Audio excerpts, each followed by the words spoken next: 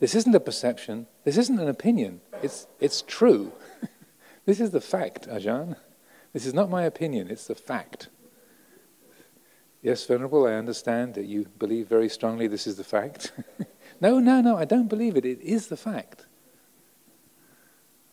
So that very fixity of view, this is um, uh, uh, a, a, major obstacle to us. The, the mind latches on to a, a, view and says, I'm right, it shouldn't be this way. We should cook the carrots like this.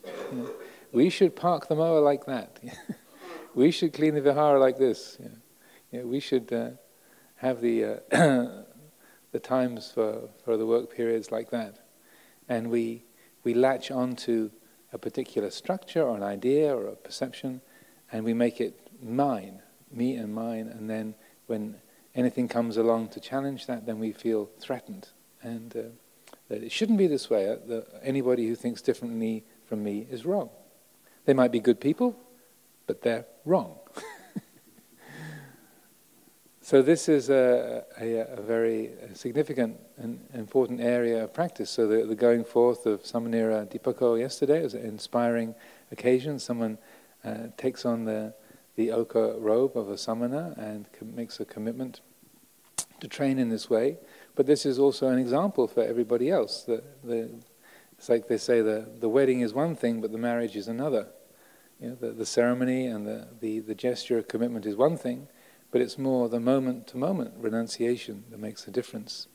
And along with the renunciation of, of celibacy, of going without money, or living according to a routine, the, it's uh, equally important to pay attention to the inner renunciation, recognizing where the mind latches onto views and opinions, judgments, perceptions, and says, I'm right, you're wrong, and takes that to be an absolute fact. As the, the Buddha said in his teachings here, I am is a conceiving. Yeah, all conceiving is a conceiving, it's something that's brought into being. That's a, we use the English word conceit for that I am feeling. In Pali, it's called asmimana, the, the conceit of I am. It says, all conce- conceivings are, a, they are like a cancerous tumor. They're like an, an illness. They're like a poisoned arrow. They're alien. They are a cause of agitation. So this is dramatic language that the Buddha uses. so uh, it's uh, there to encourage us. And the Buddha was very gifted at using words to help get our attention.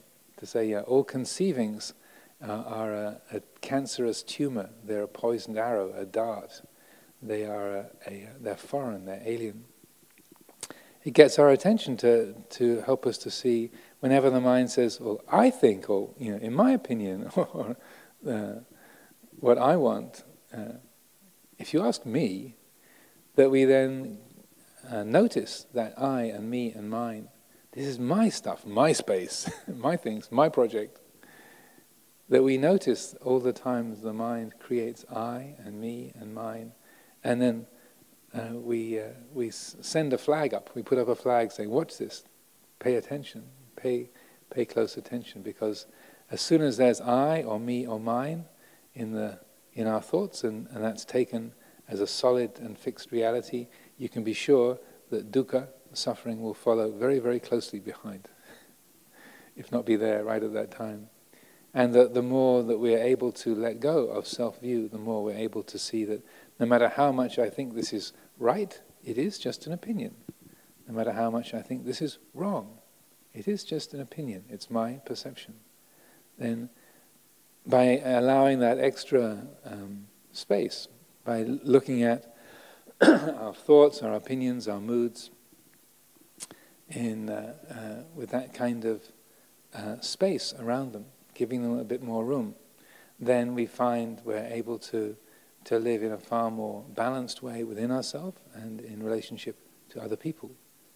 Also, just not in terms of judging the, the world outside alone, but also judging our, our own our own moods. Know, I'm, I've really got it together. I'm, you know, everything is great. You know, I'm really, I'm, I'm really in a good space. That's also an I am, right? Uh, I'm hopeless. I'm depressed. It's all falling apart. I'm useless. I'm a total yeah, all I'm doing is occupying space here. Yeah, I'm a spare part in the universe. That's what I am. That's also an I am.